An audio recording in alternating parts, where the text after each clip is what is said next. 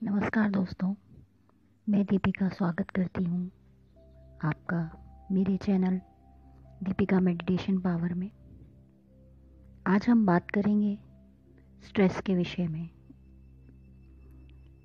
Meditation करके हम stress को काफ़ी कम कर सकते हैं, परंतु उससे पहले हम ये जानते हैं कि स्ट्रेस है क्या।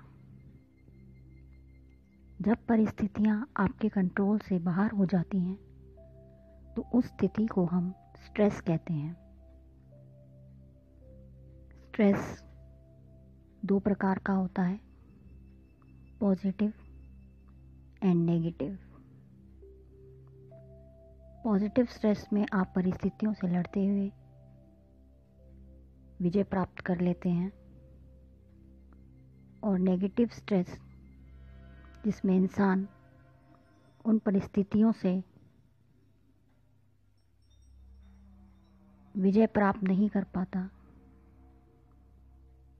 और उन परिस्थितियों से डरता रहता है, जिसमें वह सफल नहीं हो पाता।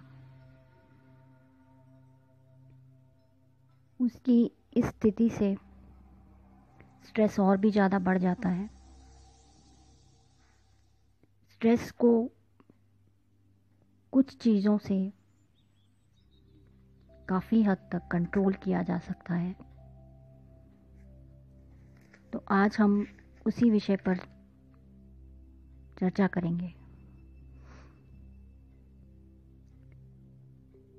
जब आपको स्ट्रेस हो तो खुश रहने की कोशिश करें।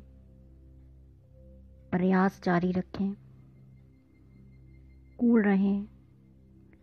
काम रहें, वह चीज़ें करें जो आपको आनंद देती हैं। म्यूज़िक सुने, वॉक करें, या अन्य कोई हॉबी को अपनाएँ। अपनी फीलिंग्स को किसी ना किसी के साथ शेयर करें, अपने परिवार के साथ समय बिताएँ, परिवार के साथ संबंधों को अच्छा बनाएँ। आप उनके साथ रहेंगे तो आपको स्ट्रेस कम होगा।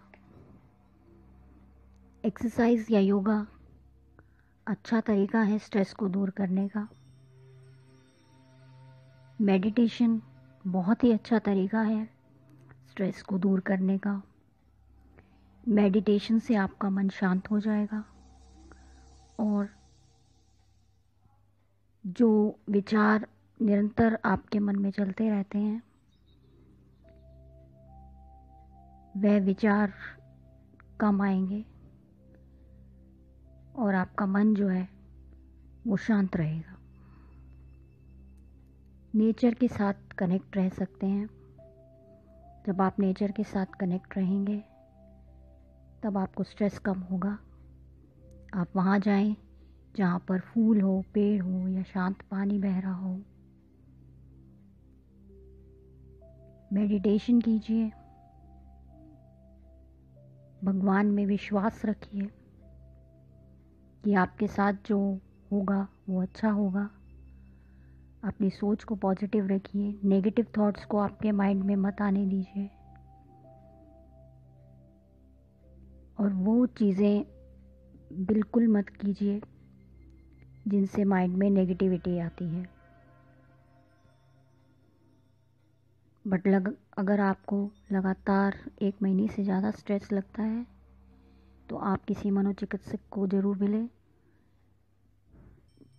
जो कि आपको अच्छी चिकित्सा के द्वारा स्ट्रेस से दूर रहने का उपाय बताएँगे। इसी के साथ मैं दीपिका इजाज़त लेती हूँ दोस्तों। तब तक खुश रहिए, स्वस्थ रहिए स्टे पॉजिटिव स्टे ब्लेस्ड धन्यवाद।